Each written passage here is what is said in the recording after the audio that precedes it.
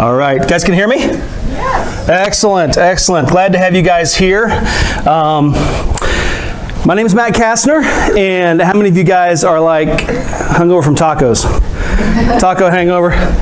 All right, here I got, I got something to wake you up. Who needs a little breath mint? Here we go.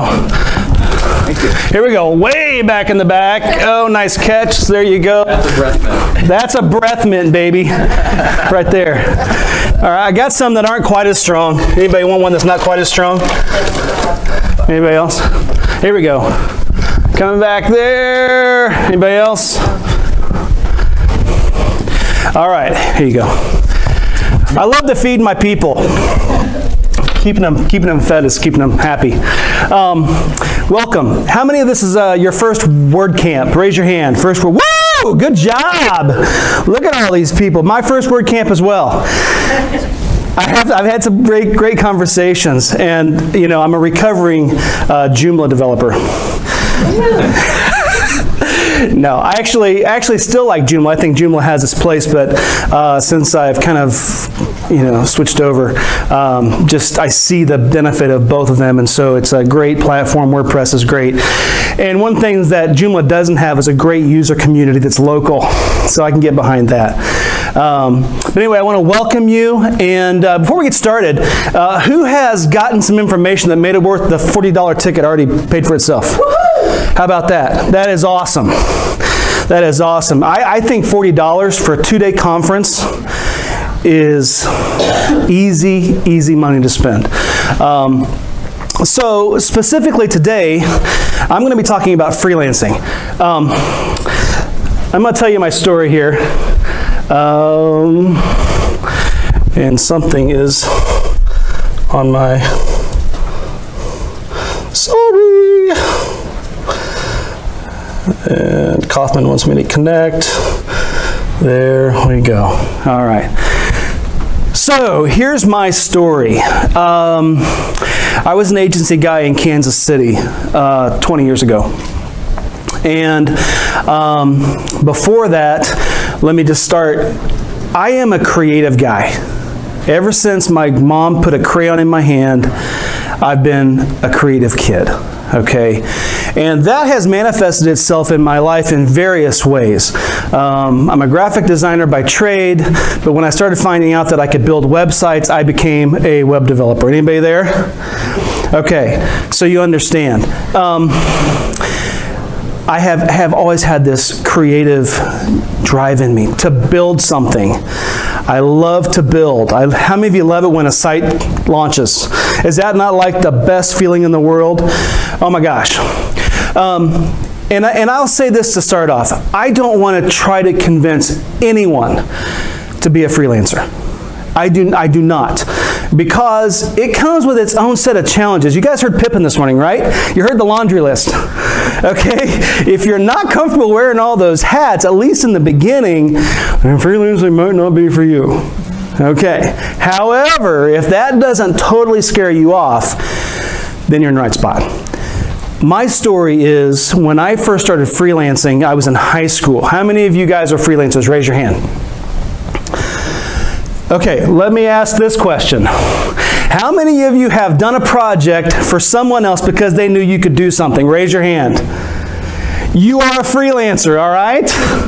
Whoops. That's, that's you. You are, you are somebody who has done something for someone else because you have a skill that's valuable. All right? I believe every one of us has unique skills, talents, blessings, passions, and I believe those are as unique as our fingerprint. Okay? And I believe with that uniqueness comes value. Okay? So I'm going to talk a little bit today about business building, but I really want to get to the point where I cast a vision. If you're a freelancer or if you're somebody who's thinking about it, where this could all possibly go. Okay. Now I've been freelancing full time now for 17 years. Okay. And I like it that way. I like it. I call it the freelance lifestyle. Um, and let me just go through here. Yeah, you know what? You've done business for somebody else. You're a freelancer. Um, but each of us have to answer this, this question up here. Why? Why, why become a freelancer? Well, for me, as I was working in agencies, I was getting great projects, working for great clients, working some really crazy hours and some really tight deadlines. Anybody know what I mean? Okay. I loved what I did. There was nothing that I didn't like what I did. But at the end of the day, my gas tank was empty, and I never got a chance to meet the client that I just served. Okay? I was in my cube somewhere. And then that was all great. And, I, and at that point in time, I was learning these skills, but this builder in me was getting real frustrated okay? And I, I, started to see opportunities as I learned the business, as I learned how to build a site, as I learned how to do things, and I realized that people were paying the companies I was working for a lot of money for the work that I was doing. And I wasn't, they weren't putting that in my paycheck, folks. You know what I'm saying? so I had a decision to make. And it, it came at about the point when I had enough freelance clients on the side. And that's what I'll say is if you're thinking about freelancing, don't wait to start. Start it right now. Okay? Because this is this is an ongoing thing, okay? You you're a freelancer forever. It's at one there's a point when you shift over and become a freelancer full time. Okay? So I'm going to tell you what my whys are now. My whys used to be frustration, tight deadlines, no appreciation, feeling sorry for myself, a lot of negative stuff. A lot of negative stuff. Today, it's, um, it's, it's my family. It's, it's the freedom of time, the freedom of being able to invest my skills where I want to invest them. My uh, professor at, uh, I'm a Pittsburg State grad, I'm a gorilla. Yep, there we go. Um, my, I'm a broadcast major, graphic design minor, which is just very weird. Back in the 90s, they didn't know what to do with me. Um, today, with YouTube, it makes sense, right? Um, he said this to me, made me, made me think. He said, smart people know how, successful people know why. Okay, so I spent a lot of years as a designer, as a web builder, learning how how to do stuff, how to do this, how to do that. Okay? At some point, the guys that own the businesses know why. How many of you guys were in um, Scott Shaper's uh, seminar just the hour before? Okay, you guys, if you didn't get that, get the recording and watch it. Okay, incredible. Okay, in terms of being able to, to identify the whys, and we're going to talk about this later, for your clients. Okay, and I'm going to unlock this whole thing about, uh, about getting clients and being able to serve them and getting them to hire you again and again. Okay, um, but anyway, quote from Paul. So this, these are my whys quality time with my family, the lifestyle, okay? Don't judge me. I live in a small town south of Louisburg, Mound City, Kansas, population 650. We call it Mayberry. There's not a stoplight in the entire county. I grew up in the country. I, I, appreciate that lifestyle, and I have, uh, fortunately, very good internet. I'm going to brag a little bit. I'm the mayor of Mound City, and I got a telephone company to come trace fiber through our entire town. We've got gigabit speed to every house and business in town. 70 bucks a month. Yeah! Y'all come to Mound City. It's a great place to telecommute. uh, freedom of time, freedom of work, to be able to pick my clients and work with the people that I want to work with. And I'm going to talk about that later. Financial control, okay? If there's been anything that I've had to learn as a freelancer, this is the one okay? And um, now my wife is so good to me, and she helps me manage my books, but my wife's not an accountant, neither am I. So if you listen to Pippin's story this morning, we had to go find somebody that had that skill, okay? So just FYI. This is my crew. And uh, this is a shot we took last October. And um, that is in Jackson Hole, Wyoming. Anybody ever been there? Oh, yeah. Awesome place. Love it. Anyway, um, I had my laptop two miles away and was doing work that afternoon. Love it. This is from six weeks ago. Wow. South Korea. This has freelance story written all over it. The connection that got me to the Olympics is a freelance client. How cool is that?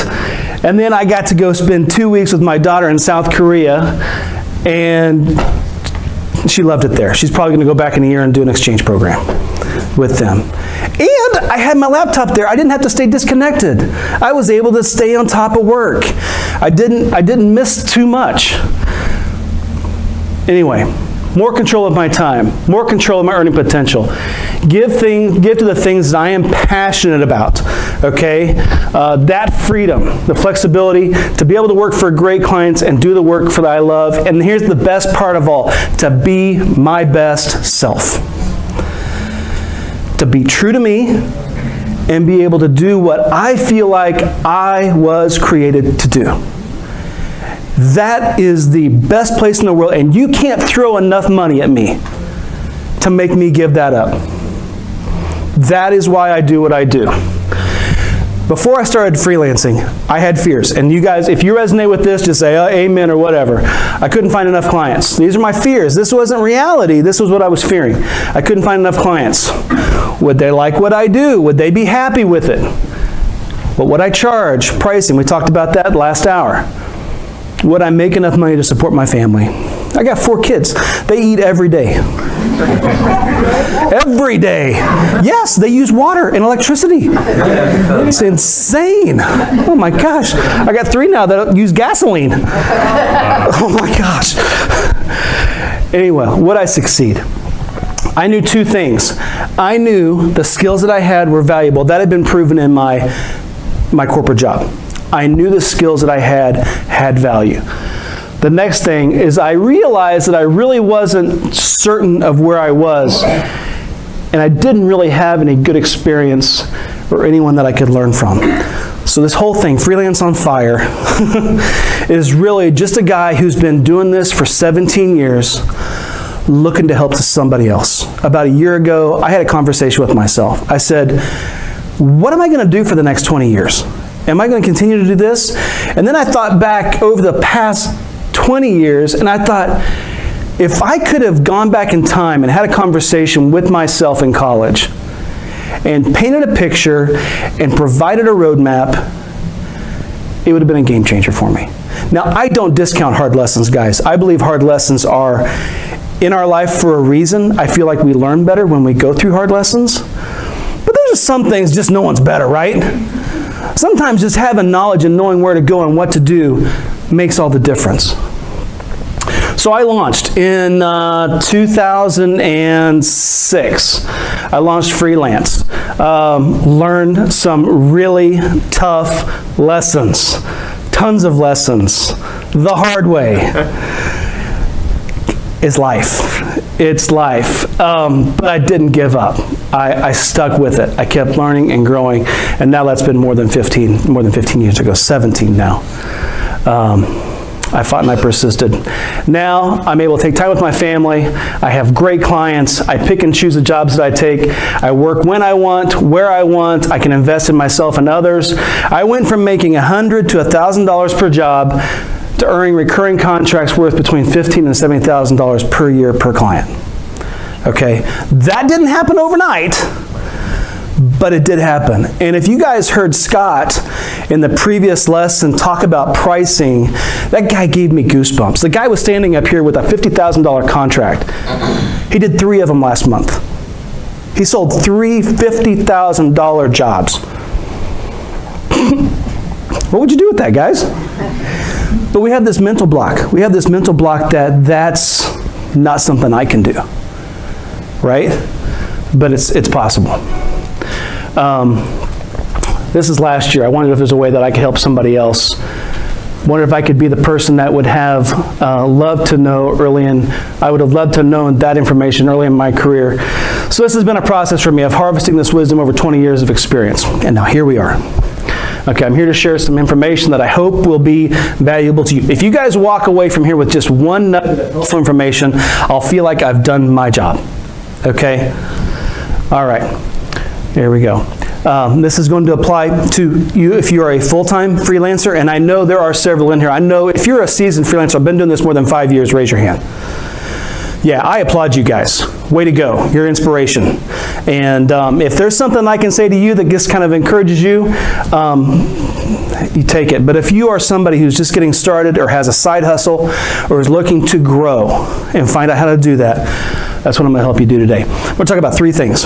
Okay, we're going to talk about your skills assessment, okay, which is basically your value proposition. What do you have that's valuable? The second thing we're going to talk about is finding clients. Okay? It's not as hard as you might think.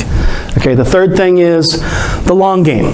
How do you prepare to do this on into, I mean, let's face it, I, you know, I plan on retiring a freelancer.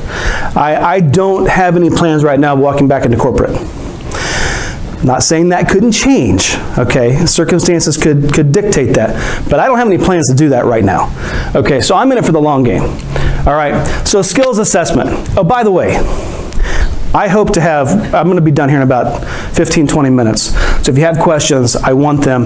And then I've, I've got a survey. Any, if anybody would be willing to help me fill out a survey, I really want feedback, especially your questions. I'm going to give it to you. And then I have a special offer for you if you're interested. Um, so I'm going to give you time for that at the end, okay? All right, so understanding my value and what do I charge? Um, uh, part of what my offer is going to be here at the end is going to be a way for you to kind of do this uh, self-analysis in terms of what are your skills? What raw skills do you have? What are things that you've learned to do well? All right? What talents do you have? What are some natural gifts that you have? that you can employ in your freelance career. What are your passions, which for me is key because for me, if your passion's driving you, it can take you to some amazing places. And then I call them blessings. Okay, blessings are things that I have in my life that are great that I did not earn. They were just given to me. And now I see myself as being a steward of those. I call them blessings. Okay? All right. So um, there is only one you. I talked about that, the value in being who you are. Here's the number one thing. This would be one thing I want you to take away. As you are thinking about your freelance career, I want you to be known for something. This is step one in being a freelancer. Okay? Find something that you're good at and be the expert in it. Okay? When someone has a problem and that problem is your niche, you want your name to pop into their mind. Okay? That is how you get clients early on. It's how you keep clients because the more that your name gets out there, the more it's associated with, with the skills you have, the more that you're going to be able to leverage that expertise and convert it into a career. Okay? All right. Scott mentioned this in his uh, presentation. I'm rewording it just a little bit. Actually, uh, it goes along very well. The process of selling has people stymied, okay? People think sales is slimy, okay? They think that it takes you stepping and stooping down to some level. But here's what it is. If you want to help someone, that is your in. Okay, Scott, I'm gonna I'm gonna use Scott's example. He talked about a guy going into a doctor's office with knee pain. And instead of the doctor asking him questions and finding out what the cause of the knee pain was, he gave Scott a pill and a bill and said, Here, take this. Okay, the correct method is to ask questions and listen ask questions and listen. And literally, you can find clients when you're not even looking for them. If you hear someone struggling with their website, get in, get in the conversation. What's going on? What's the problem? What's the pain point? Scott used the he used the uh, example of a, a Bleeding neck. You know, is I've got this bleeding neck, it won't stop. And and someone has the answer for me. Okay? If I can if I can give someone the answer, if I can help solve their problem, I, I just didn't make a client. I'm somebody's hero. Okay? So when you look at it from that standpoint, the selling's never an issue when you're able to solve a client's problem. What we need to train ourselves to be is problem solvers. And say, you know what? I can help you with that. I can, I can, I can fix that problem. I can make that problem go away. I'll do that for you. Okay. Now there's an invoice in- usually attached with that. But that doesn't necessarily be the way you, you start the conversation. It's just simply, you have a problem, I can help you fix it. Let me help you. Okay, that doesn't sound very salesy. That sounds like somebody wanted to help, right? If, if, you had a, if you had a hole in your neck and somebody had uh, some tape and some gauze, how much is that tape and gauze worth to you? What would you pay? Exactly, exactly. You're just wanting a solution. You want that pain to go away. All right. Moving on to, to, to, to what do I charge? And this could be its entire an session all its own. Okay? But here's, I'm going to say one thing that, and Scott said this better than I will, is that, is that our value is more than we think. All right? So many of us are used to calculating and boiling down what we do to an hourly rate. That's how we calculate bids. That's how we do everything. My, my, uh, my question is not necessarily do I do hourly or flat rate. The question I ask myself is what's the value? What kind of value am I bringing to this organization, this company? Okay, that's where the discussion needs to start. Um, and we'll talk a little bit more about that here in this in this second topic. But but knowing what your value is and then not being afraid to, to ask for it. Okay, now Scott had talked about uh, raising his rates, which I think is a great idea. Um, don't put your price up here so high that nobody wants to touch you, just continually little incremental increases. Okay, start where you're at, find people that are buying there, and then just continually raise your rates. Okay, um, finding clients.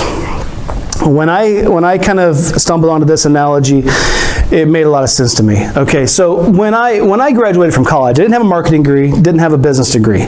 All right, most of my clients when I started off in freelance were uh, they were friends, they were um, honestly old business, old um, employers that I used to work for. Ended be becoming some of my, my best freelance clients, so do not count them out. In fact, I'll say this, if, if you happen to be frustrated right now in your JOB, okay, just be careful. Don't burn the bridge prematurely, okay, because there is a very good chance that at some point in time you could convert that old employer into a client. And you're in the best position to because they know what you can do. And sometimes it's easier to pay somebody, pay a freelancer who they know what they're getting than to take another risk on somebody else. Okay? All right. So, how many of you been fishing before? All right, we live in Kansas, or most of us in the Midwest, Kansas, Missouri. Ponds all around us, right? When you go fishing, there's a few things you need to have, right? One is a body of water with some fish in it, would be helpful. Okay, so you need a market. You need a place where there's some possibility.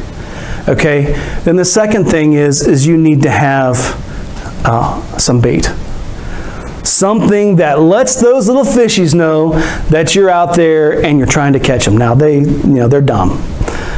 But sitting in your boat with your fishing pole with no bait and no hook in the water isn't going to get you very many fish, right? All right, so the pond is where my clients hang out, and then the promotion that I do is the bait. Now, um, I'm going to just, just assume everybody here is doing web design, and so literally, guys, you have the best platform to market your services. Okay, everybody now has cell phones and can find you with a Google search. okay, or on your social media. There's very few professions that have a built-in um, promotion tool that, that web developers have, okay? So the bait is, bait is my message.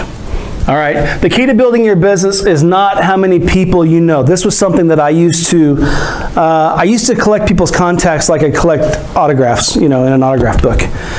I'd meet somebody, hey, I got their business card, this is great. Oh man, I got this person in my Rolodex now, cool. I wonder if they'll ever call me. and I just wait. And nothing would ever happen. The key to building your business is not how many people you know, it's how many people know you. Okay? So you've got to be willing to put the bait on the hook and throw it in the water where there's some fish swimming around. That is what you need to do to find clients, okay? Very, very simple analogy, but if you don't do those two steps, then your, your chances of finding clients is very, very slim, okay? Um, so we talked about um, solving the problem, making the pain go away, and be the hero. Um, where can I find clients? All right, you have personal contacts, former employers, professional groups. How many of you brought business cards?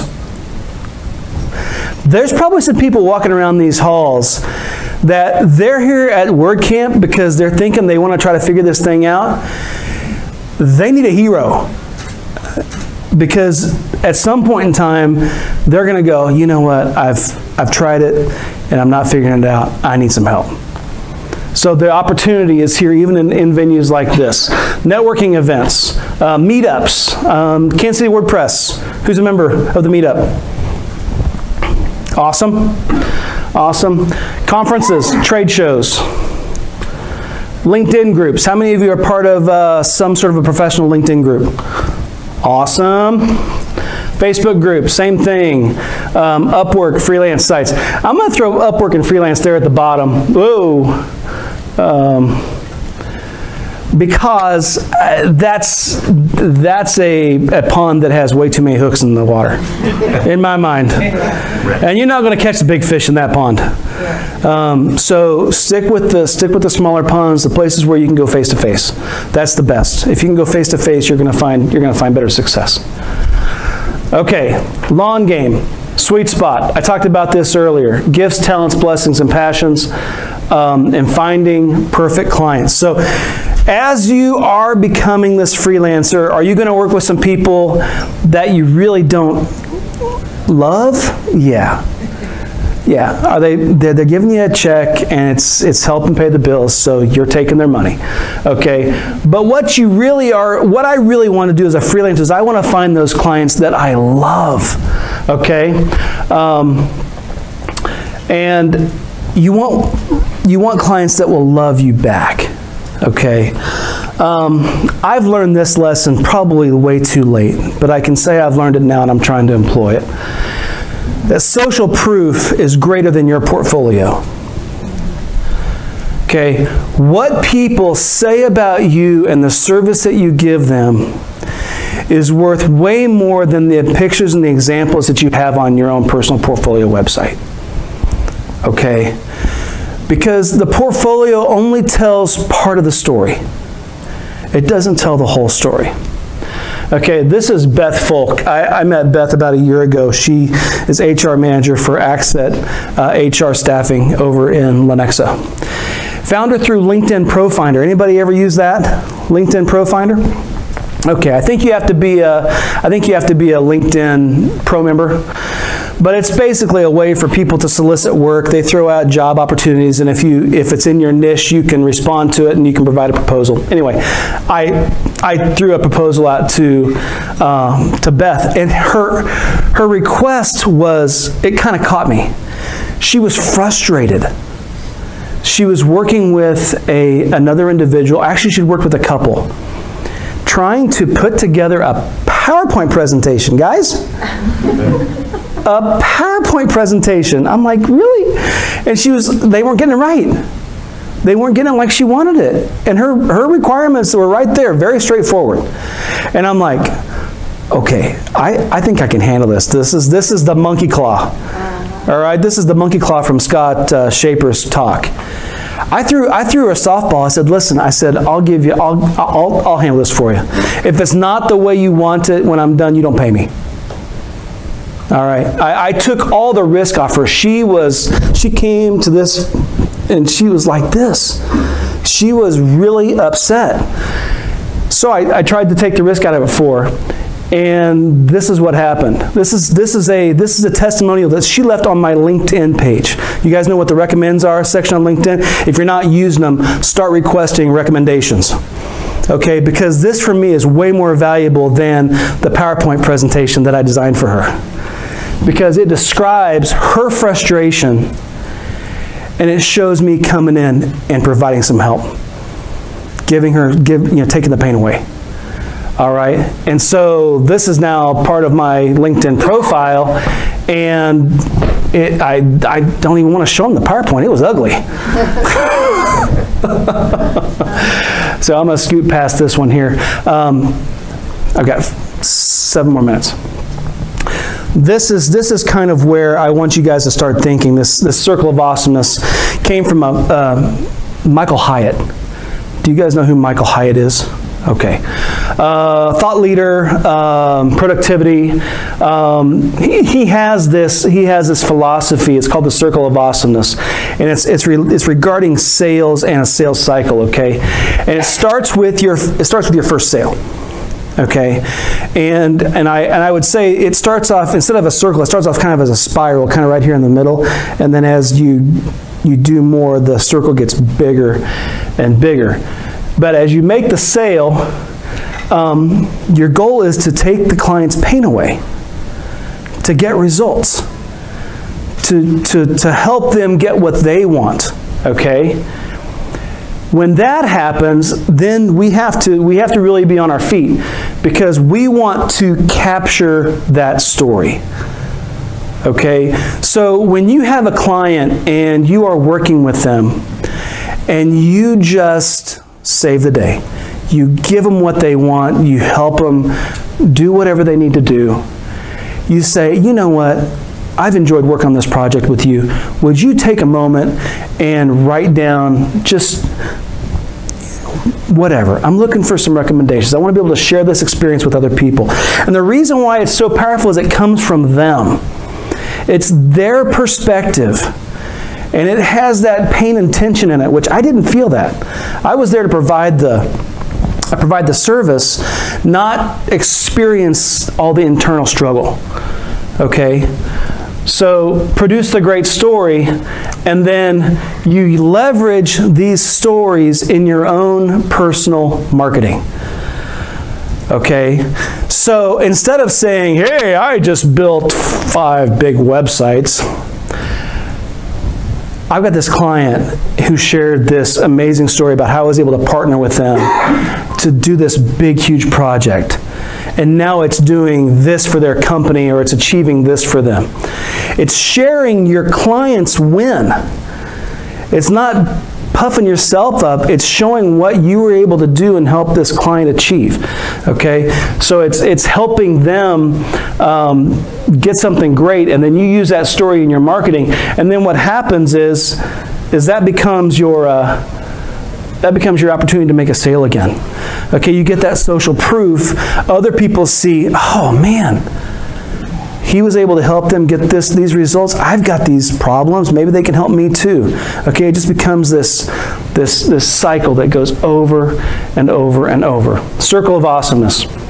Very, very cool. Um, so now where do you leverage all these stories that you have? Well, gosh, we've got too many places. Uh, the biggest one is to tell the story yourself. It's like, gosh, I just helped this client.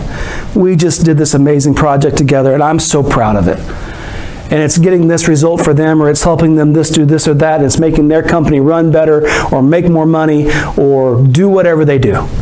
Okay, tell your clients stories. Um, I would say leverage your LinkedIn profile. That that that social network is being is becoming huge, um, and people are, are getting on LinkedIn now more than ever. Um, so so spruce up your LinkedIn profile if you haven't already. Uh, your own website portfolio. This is something I recommend. I I, I have, I'm a Pitt State grad, and I, they contact me and they ask me to take um, seniors who are looking to do internships. And I have this bad habit of turning high, uh, college seniors into freelancers. they don't want to go work for corporate when they're done with me. They see, I, I, let, I peel back the curtain and I show them how I do it, and they're like, man, this is great. Um, but in your own portfolio, I tell these students, I'm like, don't just put a snapshot of what you did. Write a narrative. People call them case studies, white papers. That's all they are. They're a narrative identify the problem, how you solved the problem, what the win or the outcome was. Okay, and you can you can add that very easily to a portfolio piece. To give to give somebody looking at a lot more context into what happened with that project. Okay, what problem did it solve? Okay, case studies. If you have a newsletter, email blast, that'd be a great place for it. Your Facebook page, if you don't have a freelancing page, they're free to get. I recommend getting one. Instagram, all kinds of, of great stuff. Finally, that's what I'm going to do. Perfect client. Do they actually exist? Yes, they do. And I'm going to define for you what the perfect client is. Are you ready for this? All right. A client that pays you well for the work that you would do for free if time and money were no object. I have two of them right now that if I didn't have to support a family, I'd be doing the work for free because I believe in what they're doing so much.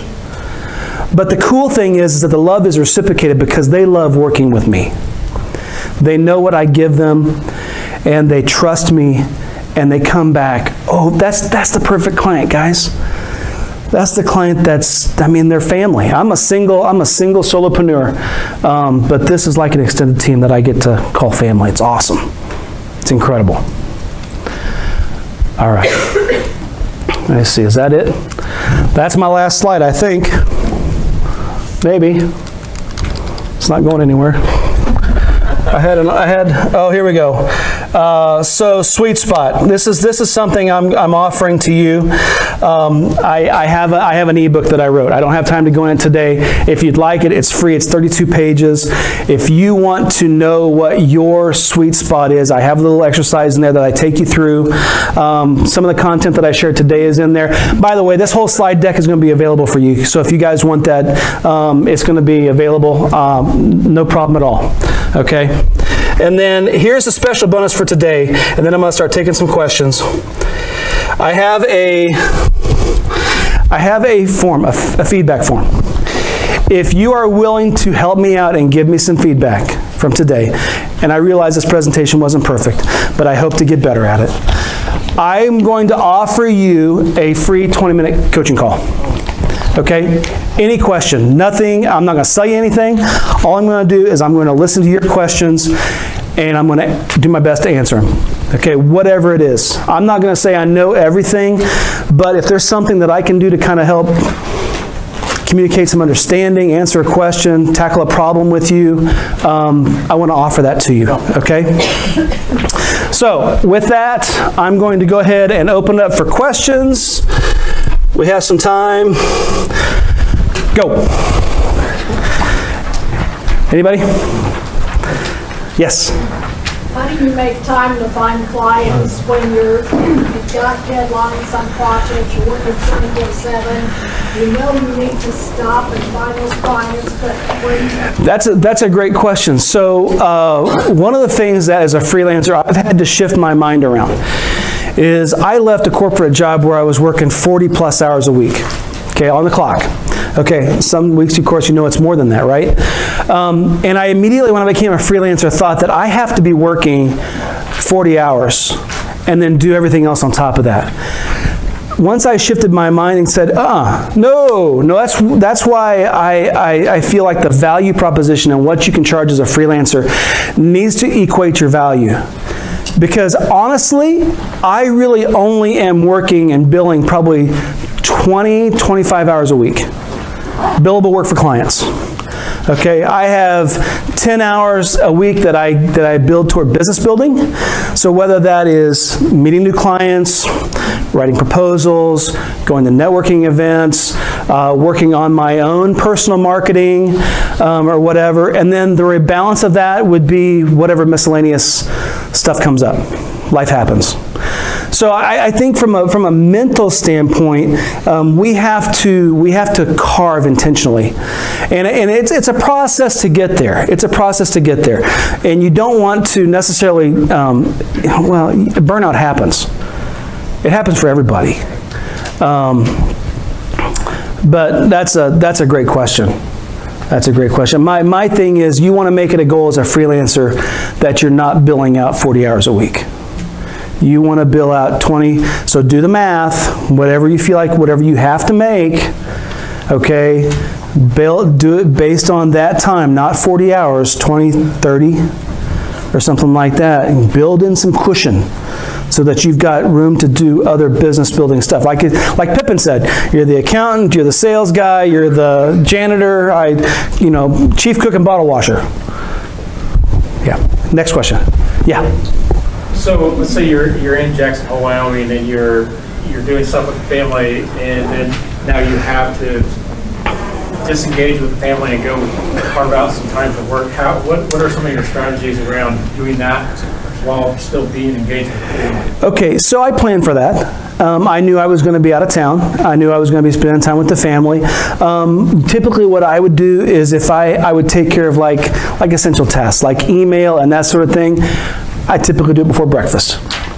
Wake up a half hour early, whatever, take care of stuff. If it's pressing, then you kind of have to call an audible maybe. And that happens sometimes. Um, but uh, I'm, I'm going to get a I'm going to get a you know a 911 at home just as easily sitting on the couch. So you know, um, but you know here's the other thing: as I communicate with my with my clients, I'm like, hey, I'm working remotely right now and I'm available. I'm not telling them that I'm available to them, but hey, just you know, um, we I, I, may not be getting back to you quite as quick, but they all have my cell phone. If it's an emergency, uh, give me a call. So that's great. That's great. You kind of have to be flexible, though. Yeah. Do You find that there are certain companies that are more likely to work with freelancers, or um, any tips there? Yes, and, and let me let me tell you this. I think right now where we're at as a as an economy, I think freelancers have an incredible position because of this. If you're working in an agency, I can provide services. I, I, I can provide the exact same services that they would get from an agency for a fraction of the price and still make really good money. Yeah, and so if somebody's looking for value, then Carissa? Yes. Um, so I started my business 13 years ago, but I've never called myself a freelancer. Like, I don't even. Is that freelancer, consultant, contractor, solopreneur? I think it's synonymous. I, I mean, I, I, really, I mean, I freelancer. I don't know why I stuck that name to myself. But yeah, I think, uh, you know. Uh, other commutations. Yeah. Yeah. Yeah, that's a that's a that's a great question. Um, I mean, I, when I see when I say freelancer, really what that connotes to me is, you know, like a contractor. Although a contractor may, I, I see that more as single focused on maybe one client, um, whereas a freelancer, I'm just a gun for hire. Um, I can I can go work for anybody at any time. I'm not strapped down. Um, but I mean, I, I, get that. I get that there could be a, a, perception there that a freelancer may not be the person that they want to work for. Uh, when I when I go out and put myself out in front of people, I typically don't say freelancer. I'll just say graphic design web professional. Yeah. How do you handle your health insurance? Uh, Blue Cross Blue Shield Affordable Blue. Yeah, yeah, and and the increased payments over the last three years have been awful. Everybody's dealing with it. For those of us that are still you know, working a 40-hour week, corporate job, and trying to do freelancing, what advice can you give about finding that balance and yeah. respect? Yeah. So so what I would say is while you've got while you've got your 40-hour job and you're building your freelance clientele, you want to be working you want to be working on getting your rate up. Okay, I would say not necessarily build a huge client base that you have to really micromanage. um, start growing your, start growing your clients to the point where the bill rates are getting really good. Okay? To where, to where when you have to cut up, cut, you know, cut over, you've got, you've got some higher level clients that you can start leaning on. Because honestly, as a freelancer, contractor, consultant, I do not need a ton of clients to pay my bills. I just need a handful of really good ones. And finding them is, is, a, is a process. It takes time, but I don't have to go find hundreds. I just have to go find a dozen or two to pay the bills. So, who else had a question? Yeah. So, as a freelancer, most of my um, business has come through word of mouth and professional connections. Have you done more traditional paid advertising? And if so, has any of it paid off? You know, like pay for, I, I wish I wish I could say I have really good experience with paid advertising. No. yeah, okay. Most of my most of my work has come through word of mouth or or through my social presences. People find me. Um, but you know what? When when you got a friend or you've done work for somebody and they talk to somebody else and you're top of mind and they pass you, that is that is better than any advertising you could buy. They're already sold. If somebody recommended you to them, just I mean it's just start working. I mean that's literally it's that easy. Okay, we got two minutes. Yes. So you talked about, and and I'm just starting out, so you talked about like what, what skills you have. Mm-hmm. So like what, what type of skills, what are technical skills or soft skills? Yeah, so so that's a combination, right? So so what are you good at? If you were to, on you put on your resume right now, what would you put on there? I am good at this. I have done this. Okay, so maybe it's writing, maybe it's uh, page building, maybe it's SEO, maybe it's WooCommerce, maybe it's graphic design, maybe it's um, setting up Etsy stores you know, um, maybe it's marketing, whatever your little thing. I mean, th- those are your skills that you sell. Uh, the soft skills are going to just pay off, and they're just going to pay off if you're if you show up for work, you're kind, you support your people, you help them solve problems. I mean, that's just going to make you better. That's that's just going to make you better. One more minute, and we'll get out of here. Yes. Um, uh, in percentages, how, uh, how much more uh, successful have you been from your previous job? Oh my goodness. Uh, as like far as like salary, as like that, um, probably four or five times over. Yeah. Yeah, it's it's it's a it's a mind shift. I when I left corporate, my I had to guys, it's it's that it, that is the thing between your ears is what holds us back the most as freelancers. It's this thing between our ears holds us back. We think there's these glass ceilings on top of our heads and we can't punch through them. And so it's yes, there's tons of potential. Okay, I showed a I showed a picture of her. Her name's Kayla Weirs. She was my uh, intern last summer. She spent three months with me, and by the end of the summer, she okay, she's a waitress at Chili's. By the time of the end of the summer, she had sold a three thousand dollar WordPress site, five pages. Yeah, when you get when the bug bites, it's hard to get rid of it. Anybody else? Guys, I want to thank you for being here today. I hope the rest of your conference is great. I'm going to be in the lounge at 3 o'clock today. And I invite you, come talk to me. I would love to, to get to know you, share my story, hear your story. Um, I've got some business cards in the back with some swag and some uh, sweet stuff. If you've got a sweet tooth right now, um, those are free for you to have. And uh, guys, have a great day. Thank you. Thank you.